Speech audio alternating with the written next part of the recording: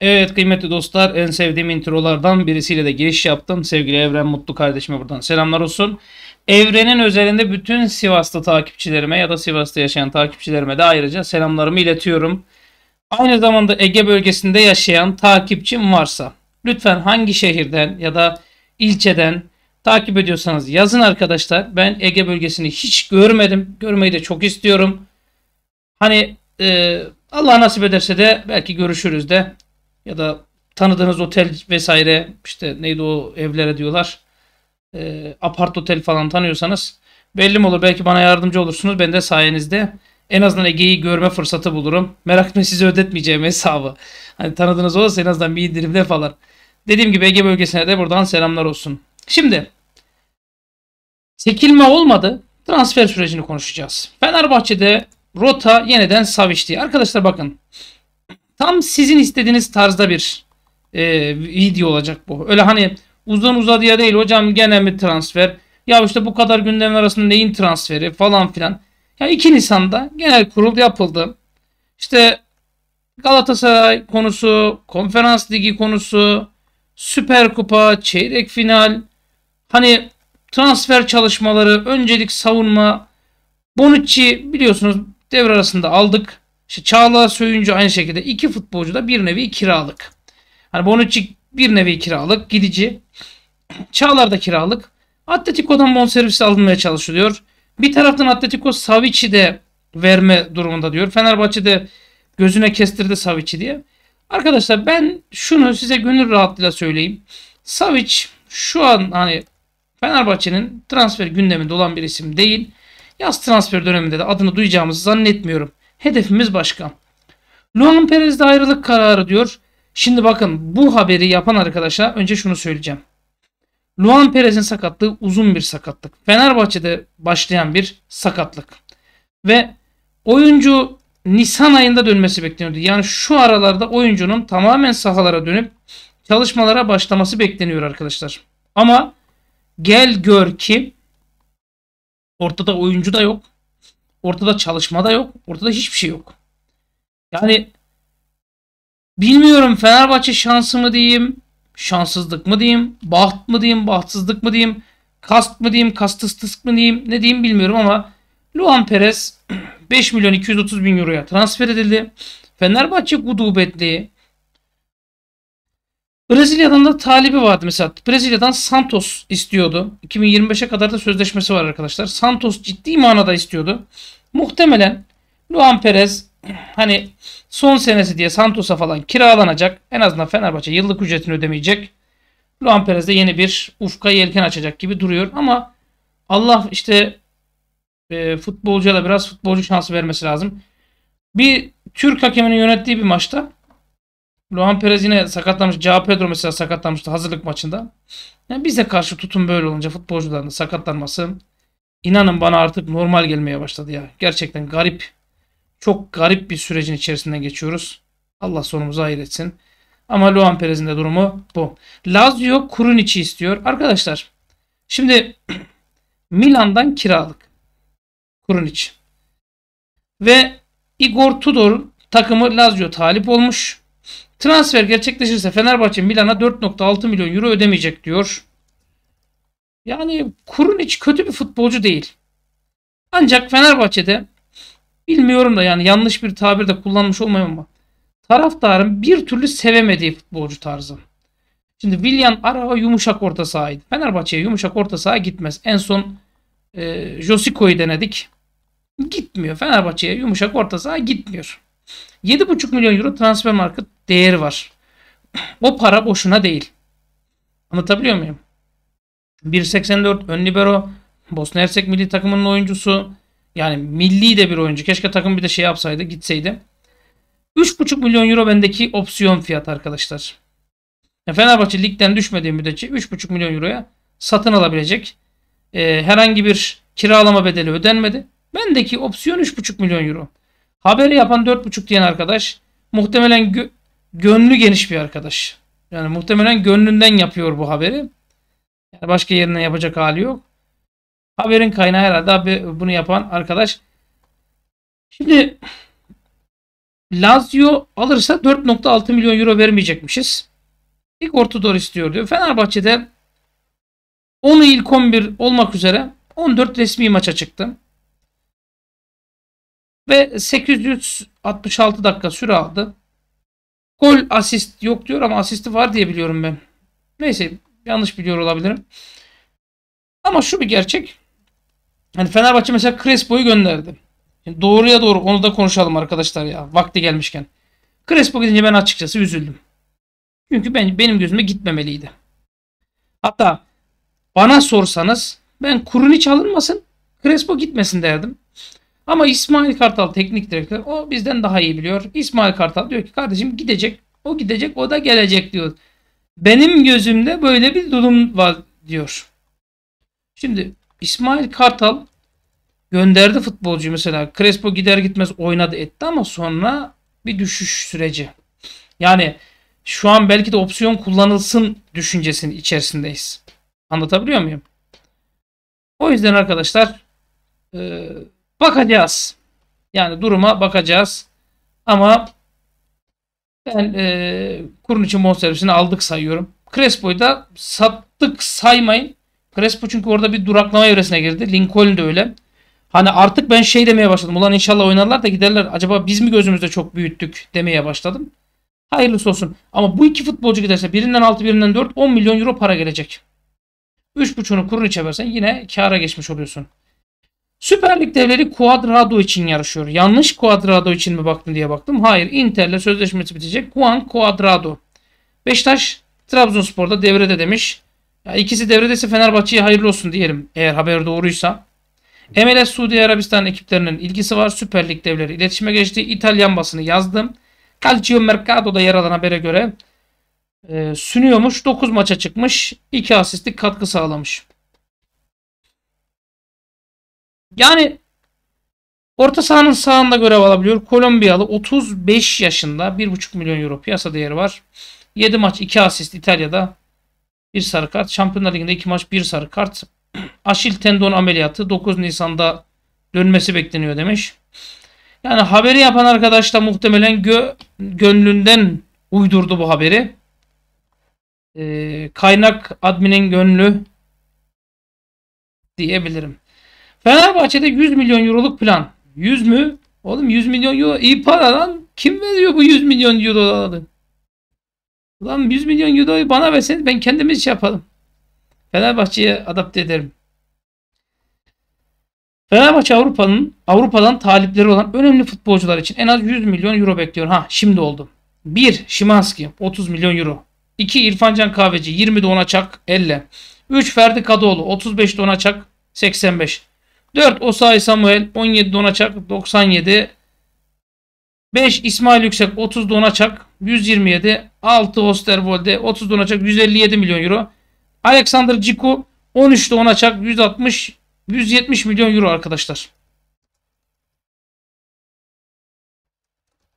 Yani 170 milyon euroya çıkabilir diyeyim. Ciddi söylüyorum şaka falan yapmıyorum ha. Hocam hayallerle yaşayan gerçeklerle ee, Bunlara kimse bu kadar parayı vermez. Aynen. Vedat Muriçi konusunda ben Lazio'ya satılma duyumu verirken de aynısını söylüyorlardı. İkinci ligde, ikinci lige düşen takımlar aldığın topçuyu buna mı satacaksın diye. Aynen Kanks. Elif Elmas duyumunu ben verirken de aynısını söylüyordunuz. Atilla Salahi'yi söylerken de aynısını diyordunuz. Aynen Kanks.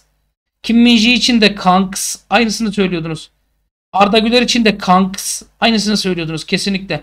Bunlar için de söyleyin de belki 170 milyon euroyu da geçeriz. Çünkü ben söyleyip siz böyle aklınız sıra beni rezil etmeye çalıştıkça Fenerbahçe kazanıyor.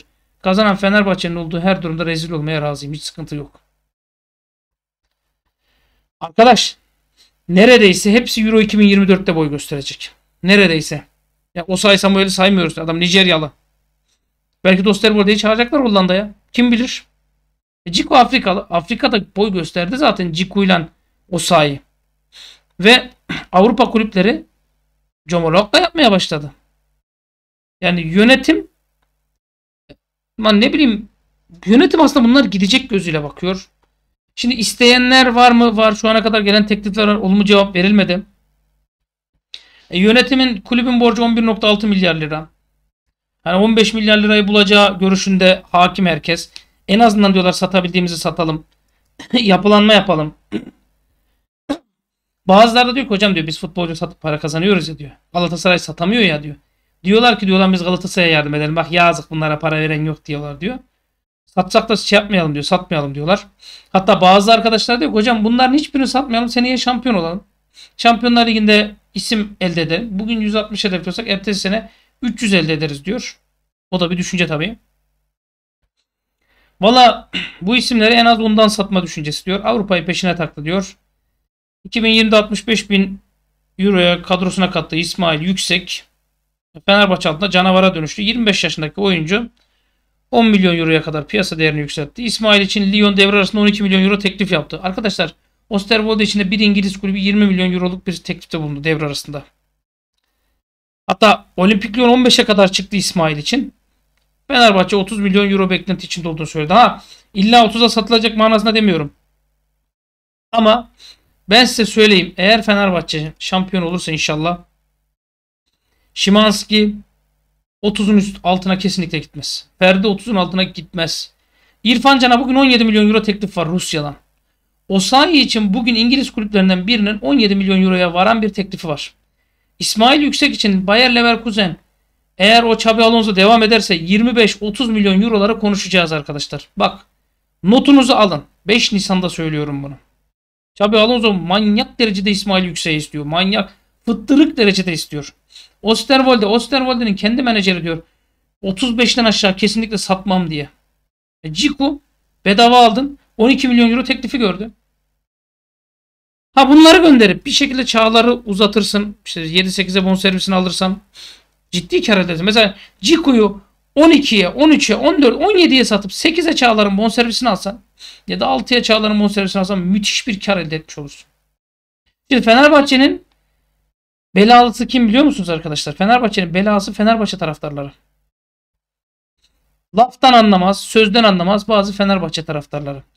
3-5 tane duyumcunun peşine giden bazı Fenerbahçe taraftarları. Ve ben bazen çok düşünüyorum. Şimdi bu arkadaşı konuşacağım. Bu arkadaşı konuşacağım. Ben çok düşünüyorum bazı şeyleri. Mesela Fenerbahçe'ye bazı duyumcular, bazı menajerlerle alakası olan kişiler bazı oyuncuları kitlemeye çalışıyorlar. Zaman zaman da buna şahit oluyoruz. Mesela Saldanha diye bir arkadaş. Yetenekli olabilir. Karakterli olabilir. iyi bir oyuncu olabilir. Bir şey diyemem. Ama Fenerbahçe'ye kitlemeye çalıştıkları Saldanha sakatlık derdinden kurtulamıyor. Sakatlık derdinden kurtulamıyor arkadaşlar. Sırp ekibi Partizan'da forma giyiyor. 9 Mart'ta oynanan Kızılyıldız maçında yaşadığı sakatlıktan hala kurtulamamış. 2-2 2-2 biten maçta takımına bir gol atmış 24 yaşındaki oyuncu. Bu sezon sahalara dönme ihtimali düşük görülüyor. 28 maça çıkmış Partizan'la 17 gol 4 asist. Ancak gel gör ki durum bu. Ha yetenekli bir isim yetenekli bir isim. Ancak bazı futbolcular sezonluk topçudur. Bir sezon oynar. ikinci sezon nav nav olur. Bu arkadaş Fenerbahçe'nin e, scoutları tarafından ikinci sezon nav nav olacak futbolcu olduğu için bu riske girilmedi. Ayrıca Fenerbahçe kulübünde para olmadığı için alınamadı. Ben yani nasıl diyeyim size bazı futbolcular konusunda e, fikir sahibiyimdir. Bazı futbolcular konusunda kendi görüşlerimi öne sürerim. Mesela Antalya Spor'da Hacı Wright diye bir isim vardı. Uygun fiyata da alma ihtimalimiz de vardı. Allah var. Dedim ki arkadaşlar şu Hacı Wright'ı alalım. Bak iyi futbolcu. Yapmayın etmeyin. Sen futboldan anlamıyorsun. Fenerbahçe'ye bunları mı layık görüyorsun? İkinci ligin çöpü. Vedat Muriç'i Gençler Birliği'nde oynarken şöyle bir cümle kurdum. Fenerbahçe'nin aradığı forvet bu. Bu Fenerbahçe'nin aradığı forvet diye yalvardım. Dediler ki sen vizyonsuzsun diye. Şimdi Hacı Wright şöyle bir performans. Yani şöyle bir performans arkadaşlar. Not 42 maç diyor ama 2697 dakika. 2697 dakika yani 2700 dakika olsa 30 maç. 30 maçta böyle bir performans. İyi de hocam şampiyonşipte bunu ben de yaparım. Hatırlıyor musunuz o Sırp Petkovic de şampiyonşipte bunu yapmıştı. Hadi aynısını yapsanıza. Şimdi şunu diyeceksiniz hocam bak sen boş konuşuyorsun. Antalya Spor oyuncuyu 9'a sattı. 2 opsiyonla sattı. Ben 7'ye sattı diye hatırlıyorum. 2 opsiyonu da aldı diye biliyorum. Hani belli bir golün üstüne çıktığı için. Yani toplam 9'a sattı. Bir sonraki satıştan da %20 pay alacak. Anlatabiliyor muyum? Sönrejitski'ye 1.88'e satmıştı. Onun alacağı pay bilinmiyor. Ama Fenerbahçe'nin bir ara uygun fiyata 5-5.5 milyon euroya alma imkanı vardı bu arkadaşı. Sizler itiraz ettiniz. Dediniz ki hocam uzun boylu forvet bizde iş yapmaz lan.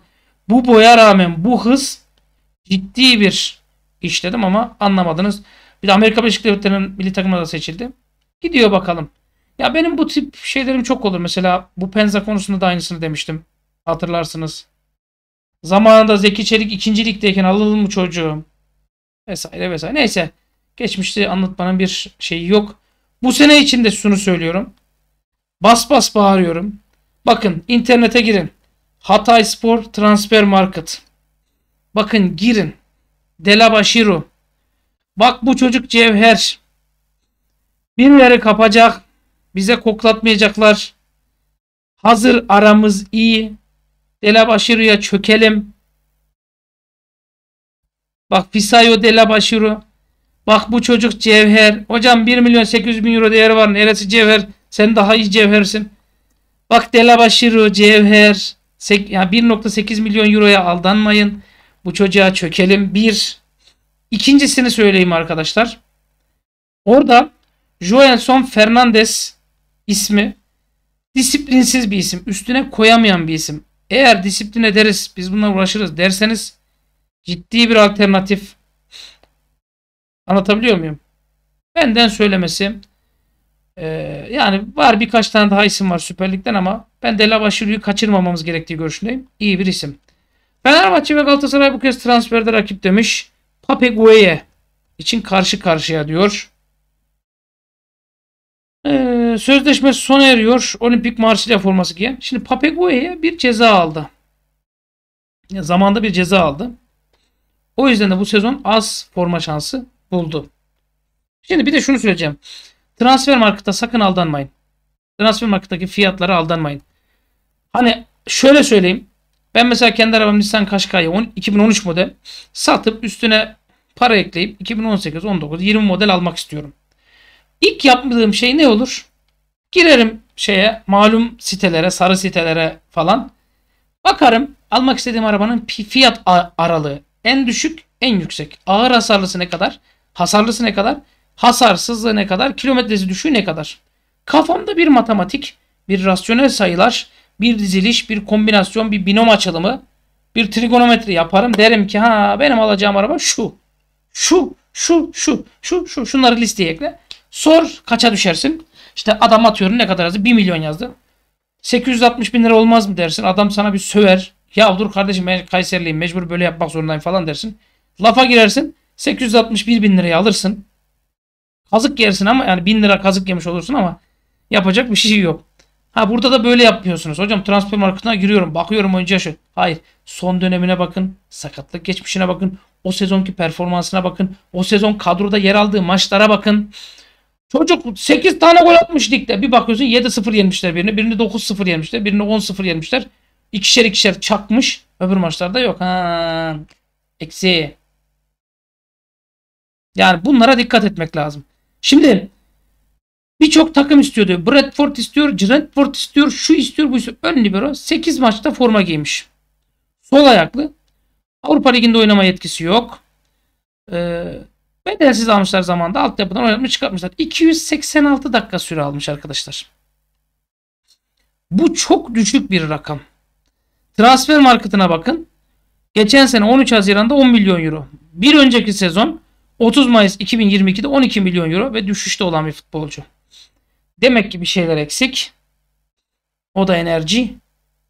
Bu arkadaştan ben uzak durmak taraftarıyım. Ha iyi bir futbolcuydu.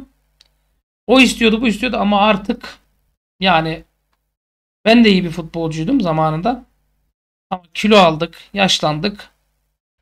Yani kırkına merdiven dayadık. O yüzden geçeceksiniz bunları. Bunları konuşmanın lüzumu yok. Hocam Ben sormak istediğim en önemli soruyu sorayım. Allah aşkına. Ligden çekilme gündemde bilmem işte Süper Kupa'ya çıkıp çıkmama gündemde senin derdin transfer mi hocam? 3-5 tane para kazanacağım diye transfer videosu çekmeye utanmıyor musun hocam? Demeyin. Benim derdim Fenerbahçe. Fenerbahçe'nin gündemi neyse benim derdim o. Benim gündemim o. Fenerbahçe futbolcu satışı da yapacak. Futbolcu da alacak. Ligden çekilmeyecek, devam edecek. Önümüzdeki sene de kadroyu da kuracak. Yurt dışından takım da alacak. Belki bu sene olmasa bile gelecek sene belki de o takıma takımı taşıyacak. O yüzden benim gündemim Fenerbahçe. Bakın sizin gündeminiz de muhtemelen Fenerbahçe'dir. Başka bir şey olacağını zannetmiyorum. Süper Lig'de mesela Beşiktaş uzun süre önde götürdü maçta. Başakşehir'le berabere kaldı. İnanılmaz bir şey mesela. Kaçta yemişler? 90 artı 5. Golü kim atmış? Emirkan İlkan. Emirkan İlkan kim? Beşiktaş'ın alt tarafından çıkan oyuncu. 7 şut Beşiktaş'ın 2 isabet. 19 şut 4 isabet Başakşehir'in. %71 Başakşehir topla oynamış. Yani pasta öldürmüş, isabetle öldürmüş. Faul 14 faule 3 sarı kart görmüş. Başakşehir 25 faule 3 sarı kart görmüş. Beşiktaş hani hakemlikte bir şey yok dersiniz. Gel gör ki Beşiktaş 3. sıradaki Trabzonspor'un 5 puan gerisinde. Ben şunu söyleyeyim. Ligde en son puan durumuna ne zaman baktın hocam deseniz. En son ne zaman baktım? Şimdi bakıyorum. Fenerbahçe 82 puandaymış. Galatasaray'da 84. Fenerbahçe 82 puan 83 golde. 7'ye 27 gol. Averajı 56. Ha, saçma sapan goller yiyoruz. O da ayrı mesele. Son iki maçta 4 gol yedik. Mesela son iki maçta 4 gol yemesen bu kadar gol atsan hem averajın 60'lara çıkacak hem Galatasaray'ın yediği gol sayısı 20'ymiş. 20-23 olacak. Diyecekler ki ha Fenerbahçe'de en az Galatasaray kadar hiç savunma yapıyor diyecekler. Durum bu. Ama benim sizi uyarmak istediğim nokta neresi biliyor musunuz? Ligin altı. 31 puanda Gaziantep. 31. maçlar itibariyle.